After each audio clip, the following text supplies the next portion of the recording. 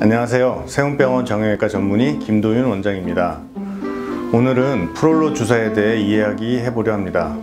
정형외과에 내원하셔서 치료를 받으시다 보면 여러 주사가 있잖아요. 그중 아마 환자분들이 가장 많이 듣는 주사 중 하나가 프롤로 주사일 겁니다. 인대 강화 주사라고도 하죠. 이 프롤로 주사에 대해서 잘 아시는 분들, 분들도 계시겠지만 오늘은 아직 이 주사에 대해서 자세히 모르시는 분들을 위해 이 알려주세움에서 이해하기 쉽게 알려드리겠습니다. 프롤로 주사는 손상 부위를 자극해서 새로운 재생세포를 증식시켜 치료 및 강화를 유도하는 치료 방법입니다.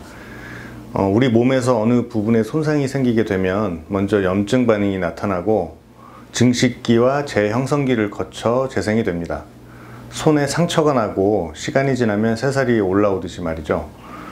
프롤로 주사도 이런 원리로 아픈 곳에 일종의 염증을 일부러 일으켜서 인대를 강화시키는 주사입니다. 고농도의 포도당 용액을 주사해서 새로운 조직을 증식시키고 따라서 통증이 감소하는 원리죠.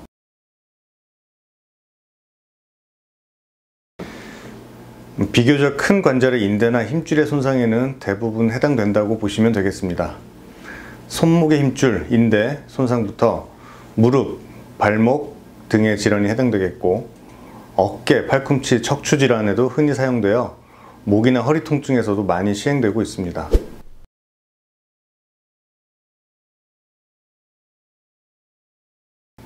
어, 프롤로 주사라는 게 절개를 하고 봉합을 하고 이런 수술이 아닌 비수술 치료이기 때문에 후유증이나 합병증에 대한 우려가 굉장히 적습니다. 그래서 고령의 환자분이나 당뇨, 고혈압 환자분들도 크게 부담 없이 치료가 가능합니다. 그리고 프롤로 주사 시술이 안정성이 높은 시술 중 하나예요. 스테로이드 주사 같은 경우에는 반복해서 맞으면 부작용이 생길 수 있는데 프롤로 주사는 반복해서 맞아도 부작용 걱정이 거의 없어요. 또 하나의 장점으로는 단순히 통증을 완화시키는 치료가 아니라 근본적인 치료를 하는 시술이라는 거 앞에서 말씀드렸듯이 주사로 손상된 조직을 재생시키는 거예요.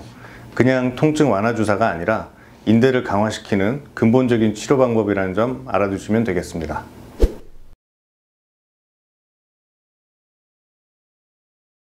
프롤로 주사가 일부러 염증 반응을 일으켜 인대를 강화하는 원리라고 말씀드렸잖아요.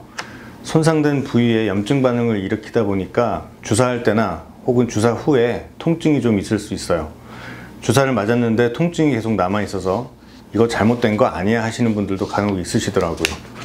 통증이 있는 게 정상이고 오래 가지 않고 서서히 사라지니까 너무 걱정하지 않으셔도 됩니다.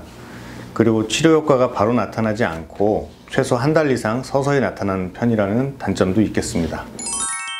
오늘은 프롤로 주사에 대해서 한번 알아봤습니다. 이 영상을 통해서 프롤로 주사에 대한 궁금증이 조금이라도 풀렸기를 바랍니다.